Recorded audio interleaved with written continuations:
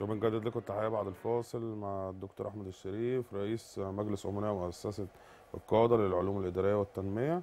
أهلا وسهلا بحضرتك. أهلا بيك. نورتنا ونورت قناة LTC. وبرنامج حكاوي العمراني في البداية كده عايزين حضرتك تكلمنا على أهم المبادرات وبالأخص سفراء الوعي التكنولوجي. آه بالنسبة للمؤسسة يعني. آه، تحياتي طبعا لحضرتك وللساده المشاهدين. آه يعني إحنا مؤسسة القادة أنت حضرتك عارف إن إحنا مؤسسة مجتمع مدني ذات نفع عام بتشرف علينا وزارة التضامن. آه بنقدم مشروع اسمه مشروع الوعي. عندنا مشروع كبير ضخم جدا اسمه مشروع الوعي ومشروع تاني اللي هو متعلق بالتدريب والت- والتأهيل والفرع الثالث عندنا التنمية. ثلاث فروع أساسية ومجالات أساسية بنشتغل فيها. ففي مجال ال- الوعي آه، عاملين سفراء الوعي. سفراء الوعي بت- بتحاكي أكتر من مجال منها مثلا عندنا سفراء الوعي التكنولوجي. سفراء سفراء الوعي التكنولوجي كنا من حفل تخرج الدفعة الرابعة منها آه، من أرب من يوم السبت اللي فات. آه، الحقيقة آه، سفراء الوعي التكنولوجي من واحدة إحنا دي دي حق خالص لل- للمؤسسة وللدكتور محمد آه، محسن رمضان اللي هو مستشار الهيئة العليا لل تمام. التحول الرقمي وتكنولوجيا المعلومات.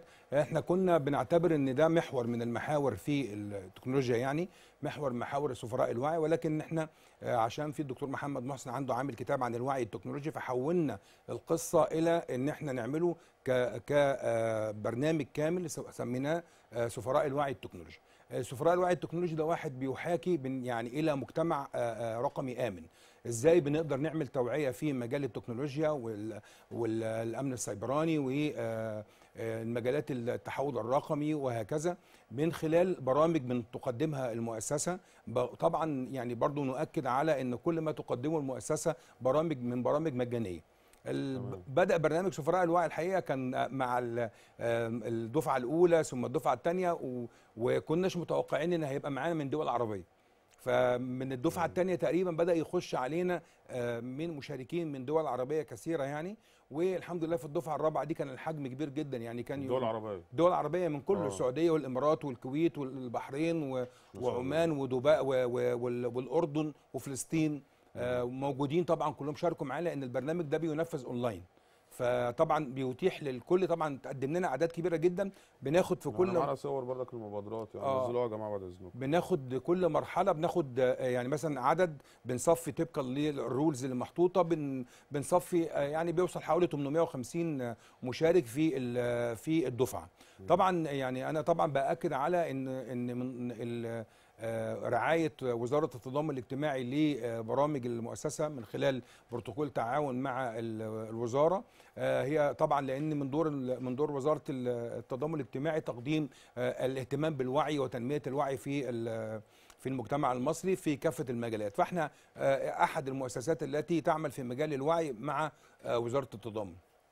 لينا طبعا شراكات مع العديد من الجهات الأخرى لينا شراكات مع آه، جامعات ووزارات وهيئات أخرى ولكن إحنا بنقدم كل ده بنوصل بنعمل التفاهمات دي كلها عشان نوصل إن إحنا نقدم منتج كويس جدا لابناء الشعب المصري لنشر الوعي. نشر الوعي بقى في كل المجالات. يعني إحنا اتكلمنا عن الوعي ال- دلوقتي بنتكلم عن الوعي التكنولوجي ولكن عاملين حاجة بنتكلم فيها عن ال- الوعي بالمشروعات القومية. عملنا حاجة آه، اسمها سفراء ال- آه، الوعي السياسي آه، لأن ده مهم جدا. كل اللي إحنا بنقوله ده كعناوين وشغل.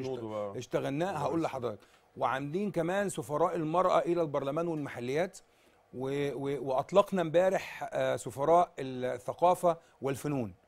يعني ده ده ليه؟ لأن أنت أنت في الآخر عايز توصل لمجتمع واعي.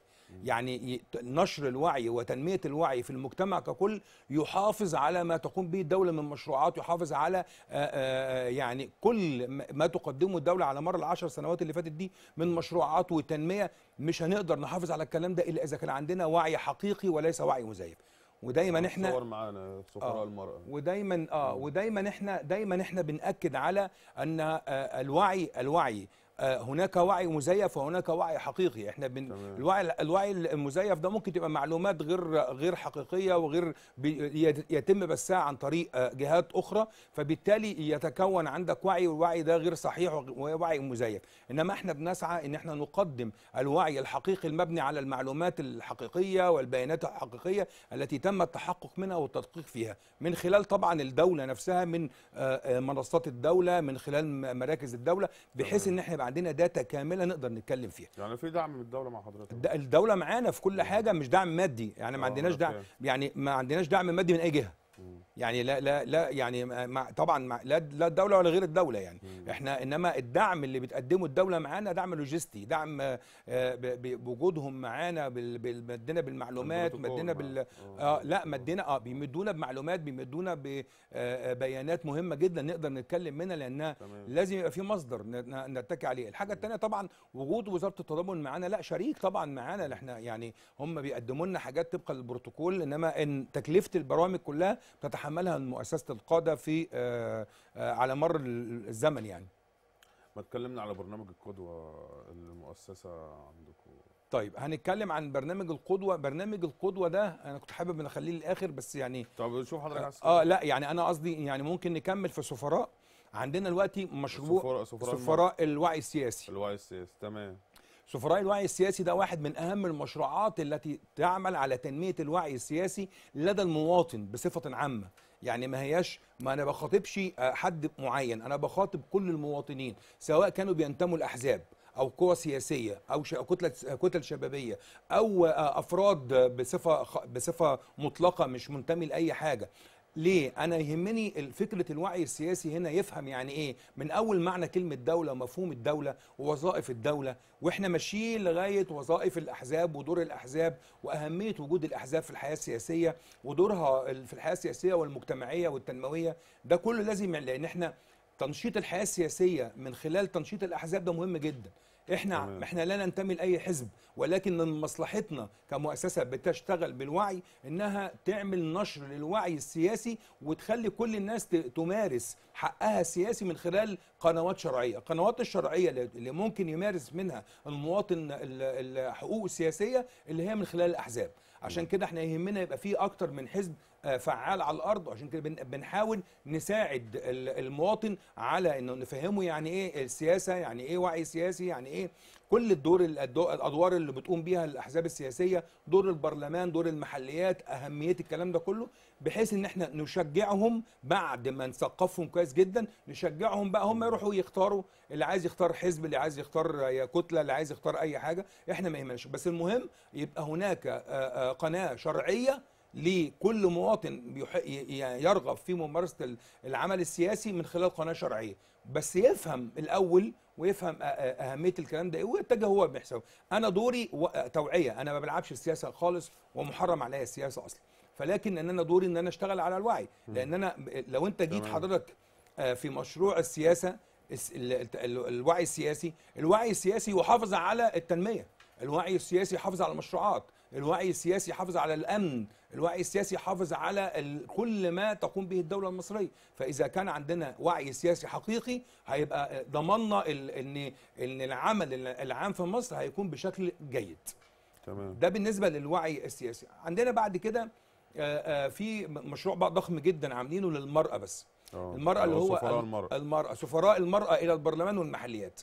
طب ليه عملناه كده ده آه. مختلف عن الوعي السياسي الوعي السياسي إحنا بنعمل آه، وعي مطلق وعي بصفة عامة آه،. تأهيل بصفة عامة ما, ما, ما عندناش ما فيش الجزء ال- ال- العملي على الأرض يعني إنما في في البرنامج بتاع سفراء الم- ال- المرأة إلى ال- البرلمان والمحليات حضرتك عارف إن المرأة بتمثل 25% سواء من البرلمان أو سواء من المحليات يعني لو. أنت بنتكلم في البرلمان فهم ليهم كوتا 25% سواء بنتكلم في في المحليات بنتكلم برضو 25% طب الأرقام ديت إحنا محتاجين قوي نظهر المرأة ب ب ب ب في صورة متميزة في العمل البرلماني أو العمل ال- في المحليات.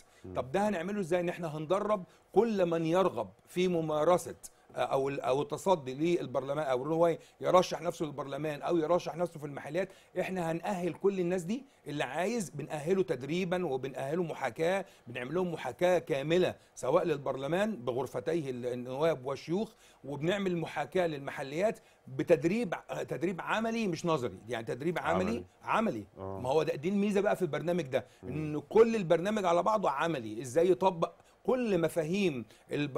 وظائف البرلمان وآليات البرلمان وآلية التعامل جوه ده للمرأة فقط ده صح؟ للمرأة ده المرأة ده البرنامج ده للمرأة أنا آه. يعني عاملينه لأنها ليها كوتا وإحنا يعني مع الوقت محتاجين يعني م- محتاجين آه، آه، نضغط شوية مع المرأة ليه؟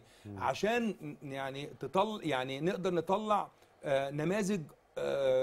جيدة ومشرفة وطبعا هم النماذج الموجودة كويسة ولكن إحنا بنقول كل ما زاد ال- كل ما زادت الفرص كل ما ناس كتير قوي تقدر يبقى فيه منافسة أقوى يعني. عشان كده عاملين البرنامج ده وده يعتبر من أهم وأقوى البرامج اللي طرحت في الفترة ما حدش عمله الحمد لله غيرنا. سفراء الوعي عموما ده حق مطلق لمؤسسة القادة. يعني سفراء الوعي ده آه، إحنا مسجلينه باسمنا مسجلينه في الوزارة عاملين كل الإجراءات اللي اللي تحفظ لنا حقوقنا في كلمة سفراء ال- الوعي بكل مجالاته. آه ده ده الحمد لله طيب انت بنتكلم إحنا دلوقتي طبعا إحنا عملنا مشروعات مشروعات كتيرة في في في التدريب والتأهيل بندرب طبعا شباب مصر كلها كل من يرغب في التدريب سواء تدريب إداري أو تنف... يعني تدريب تنفيذي. إداري آه. تنفيذي ده إحنا بندربهم. ب... سواء كان موظف ده حكومة أو غير موظف إحنا عاملين برامج اسمها رفع كفاءة العاملين بمؤسسات الدولة دي بن... بنعمل إيه؟ بندرب العاملين بمؤسسات الدولة آه، آه، ده تدريب خاص لوحده. للموظفين. مع الموظفين. ده رفع ده بنر- نرفع كفاءته في المجال. طب ال- الشباب اللي عايز يتدرب بقى واللي عايز ياخد برامج دي بنديهم برنامج اسمه برنامج آه، القيادات الإدارية والتنفيذية رفيعة المستوى.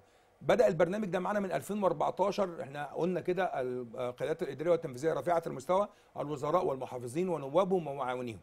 عملنا البرنامج ده خرجنا منه العديد من الدفعات ومنهم دلوقتي من يعني يشغل مناصب كبيرة جدا في الدولة. من آه، أول. وزير وحضرتك نازل يعني. يعني في منهم خريجي البرنامج ده اللي وزير واللي محافظ واللي نائب خريجي هذا البرنامج الحمد لله وده يعني بنتشرف بده على مدى لأن ده كان بقى حصل فيه شراكات. يعني شراكات مع وزارة الشباب والرياضة شراكات مع التضامن شراكات مع الجامعات شراكات مع جهات كثيرة جدا. نفذنا البرنامج ده وبننفذه دلوقتي في التوقيت الحالي ده مع المحافظين. يعني مع الساده المحافظين بننفذ ده. بيبقى جزء من العاملين بالدولة وجزء من خارج يعني جزء من الناس العادية وجزء من آه، آه، من ديوان محافظه مثلا موظفين المحافظة موظفين نفسها. المحافظة. بن- تمام. ده لأنه مهم محاوره مهمة جدا وكلها مرتبطة بشغله. يعني كل المحاور بتاعة البرامج دي طب مرتبطه واللي خارج المحافظة؟ برضه بن- بندي ما هو خارج المحافظة. يا إما هو موظف في حتة تانية يا إما بيعمل لسه بيعمل بي بيعد نفسه إنه يكون قيادة. فبندي ده وبندي ده وبندي ده. الثلاثه متاحين بالنسبة لنا يعني. دي البرامج اللي هي خاصة بال- بالدولة. عندنا اسمه بقى الوعي إيه؟ اسمه ده القيادات الإدارية والتنفيذية الإدارية رفيعة. المستوى. رفيعة المستوى. برضه ده كله بيقدم مجانا برضه عشان نأكد على- آه كله. ما عندناش. بص مؤسسة القادة تقدم يعني عايز أقول لك مئات البرامج والمشروعات كلها مجانا.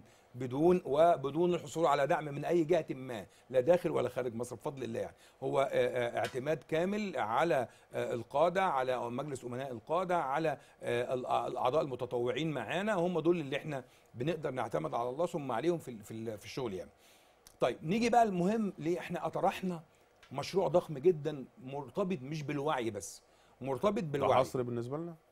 آه ده ده, أول حصري؟ مرة هتكلم فيه ده آه. حصري؟ حصري آه. آه، البرنامج ده هنا لازم يبقى لازم حتى ده يتقطع لوحده كده وياخد آه،. جرعته.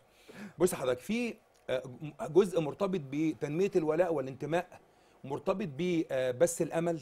يعني بص بقى أول حاجة بينمي الولاء والانتماء اللي أنا هقوله ده بينمي الولاء والانتماء عند المواطن. تاني حاجة بيبث الأمل عند المواطنين البسطاء. وده تمام. مهم بالنسبة لنا. تمام. يعني إزاي تعمل ده؟ إنك تبث الأمل. ال- ال- البرنامج أو الم- المشروع على بعضه اسمه القدوة. القدوة. القدوة. القدوة القدوة دوت حضرتك مقصود منه إيه؟ اللي هو تعزيز القيم والمبادئ والأخلاق لدى أبناء الشعب المصري كلها. طب ده هيتعمل إزاي؟ ده بيتعمل إزاي؟ من خلال مجموعات كبيرة جدا من المؤسسة. إحنا عندنا أعضائنا منتشرين في كل المحافظات. شكلنا لجان في كل المحافظات لاختيار النماذج القدوة. يعني القدوة من كل مح... من كل محافظة هننقي مجموعات. طب ال- القدوة اللي إحنا بنختارها هل إحنا هنختار النجوم القدوة؟ لا. إحنا هنجيب من قاع ال- ال- ال- المجتمع. الناس اللي شغالة في المراكز والقرى وال- والنجوع وكفور في المحافظات الناس اللي هي بتشتغل مش منتظرة حاجة خالص ولكن هو مؤثر جدا في. محيطه مؤثر في مجتمعه له آه، آه، له علامات كبيرة آه، في خدمة المجتمع بدون أن ينتظر مقابل وده المهم يعني أنت تلاقي مثلا ممكن يكون مدرس مثلا مدرس بيخدم أهل قريته أو مدينته أو مركزه وبيعمل أعمال جليلة جدا ومن من غير ما ينتظر مقابل ومش في دماغه آه طبيب زي مثلا حضرتك فاكر طبيب الغلابة مثلا كده؟ آه، طبيب الغلابة بدأنا نتكلم عنه بعد ما مات. لا إحنا عايزين نتكلم عن الناس دي وهي أحياء. عايزين نتكلم عن نماذج القدوة اللي موجودة. نب- كده أنا كاتب كده في المشروع بث الأمل. بث الأمل لدى كل أبناء الشعب المصري اللي موجودين في ال- ال- القاع ال- ال- ال- المجتمع وبيشتغلوا وبما يرضي الله وبيشتغلوا وبيرضوا الله ورسوله وبيرضوا وبيشتغلوا للبلد. طب إحنا بنقول لهم البلد شايفاكوا؟ البلد شايفاكوا جاية لكم وإحنا عشان كده بنعمل إيه؟ بتخلق منافسة في كل حتة. يعني أنت لما مثلا لو أنت في أحد المراكز ولقيت مثلا 20 30 واحد من عندك تم اختيارهم كقدوة. والناس دي فعلا استحقت لأن إحنا بنعمل إيه في القدوة؟ دعمه يا إما إحنا بن... الأول الاختيار. الأهم حاجة الاختيار. عندنا معايير الاختيار معايير الاختيار طبعا عندنا معايير كبيرة ودي اللي بتختار بناء عليها مثل بتتم- إيه يعني يا دكتور؟ إيه؟ يعني إيه؟ أول يكون مؤثر في محيطه مؤثر في مجتمعه آه، يتمتع بالأخلاق آه، يؤثر يؤثر على نفسه أي مصالح لا ينظر إلى آه، مصالحه الشخصية على حساب ال- ال- المصالح المجتمع. والعديد بقى من من من المعايير ديت. طب آه، هو إحنا دلوقتي ممكن حضرتك تيجي ترشح لي تقول لي والله أنا عندي في البلد آه، عندي شخصية مهمة جدا وحد كويس قد وبيعمل كل حاجة. فأنت حضرتك بتسلم لي بياناته وبتسلم لي داتا. أنا بنزل بقى بفريق العمل بتاعي اللي موجود في المحافظة ديت أقول له انزل المكان الفلاني تحرى عن الأمر ده ويسجل مع الناس المحيطة بيه ويسجل على ما يسجل مع كل اللي حواليه عشان يتأكد أن هذا الرجل هو نموذج قدوة. طب إحنا خدنا نموذج القدوة ده هنعمل معاه إيه؟ اولا هنكافئه ماديا. مكافأة مادية. مادية. آه تمام. مادية. ثم مكافأة معنوية. تمام. من تسليط الضوء عليه اعلاميا على السوشيال ميديا بكل فروعها. كل حاجة هيبقى تسليط عليها. الحاجة بقى التانية بعد ما نعمل ده هنعمل تكريم لكل محافظة. كل محافظة هنكرم المجموعة اللي طلعت فيها آه، آه، آه، بالاتفاق مع السيد المحافظ. طيب صفنا على مستوى الجمهورية كله هنعمل بإذن الله برعاية يعني إن شاء الله بإذن الله إحنا طالبين من رعاية سيادة الرئيس إن هو يرعى المجموعات اللي هتخرج من الناس دي مثلا يكون 100 في الآخر أو 150 هنعمل احتفالية كبيرة يعني نتمنى طبعا حضور سيادة الرئيس ورعايته ليها هيبقى دي ده المكافأة الكبرى. طب ده هيعمل إيه؟ هيخلق حالة مجتمعية منافسة شريفة لدى كل المواطنين الزملاء بيوافق على أي الحاجة الثانية بقى الحاجة يعني. الثانية طب إحنا دوت هنعمله على الأرض إنما إن ال... طب أنا بعمل إيه تاني؟ عامل برنامج اسمه القدوة. القدوة. برنامج برنامج تلفزيوني اسمه القدوه خلصنا تقريبا معظم خطواته وخلاص إحنا دلوقتي هن... هنبث ال... ال... هنعمل بس التجريبي بتاعه خلاص خلال أيام أو أس... أو أسابيع يعني مش مش يعني فترة قريبة جدا يعني. بس البر- تلفزيوني؟ هنعمل بس على فضائيات على فضائيات. الأول وعلى اليوتيوب. يعني هينزل على فض... إحدى الفضائيات على. هينزل على اليوتيوب هينزل هيعمل بحيث نبقى موجود في كل حتة. اللي هيبقى ده ب- هناخد النماذج القدوة دي ونسلط عليها الضوء ونتحدث معاه ونتكلم معاه. وطبعا في مفاجآت تانية في الحلقة نفسها. يعني بس مش بس أنا بجيب ده أنا بجيب ده ومعاه حاجات تانية. فدي طبعا هنتكلم ساعتها لانها دي هتبقى ليها ليها أنت عارف في ناس مجرد ما واحد بيتكلم ياخد آه. المت... الفكرة ويروح عاملها مبوظها ويبقى عملها وخلاص. لا إحنا واخدينها حصري معاك لا أنت حصري معاك لا لا لا أنا أقصد. أنا أقصد إيه؟ هي مشكلتنا عارف إيه؟ مشكلتنا إن في ناس إحنا مثلا عملنا سفراء الوعي طب طب انت اعمل حاجة تانية. لا يجي يروح داخل ببوظ لك الدنيا واخد حتة ويبدا يشتغل عليه. يا عمي انت خليك في نفسك وإحنا في نفسنا. إحنا عمرنا ما قلدنا حد. عمرنا. إحنا دايما بن- بنسبق بخطوات. معروفة دكتور. آه يعني بفضل الله على مدى 11 سنه دي السنة ال 11 دي. إحنا 10 سنين عدت ان شاء الله دي ال 11 عمرنا إحنا تقريبا الأفكار بتاعتنا بفضل الله كل يوم. وعندنا مشروعات تانية كبيرة جدا برضو خلال الأيام الجاية دي هنعلن عنها. وإن شاء الله هيبقى معاك برضو حاجات حصرية بإذن إن شاء الله. الله مع حضرتك يعني. ربنا يبارك فيك. مع الله, حضرتك. الله يخليك. وبنشكرك وبنبارك حكاوي الله- العمراني الله- وقناه HBC الله يكرمك. شكرا. وانتظرونا السنة القادم من حكاوي العمران محمد العمران.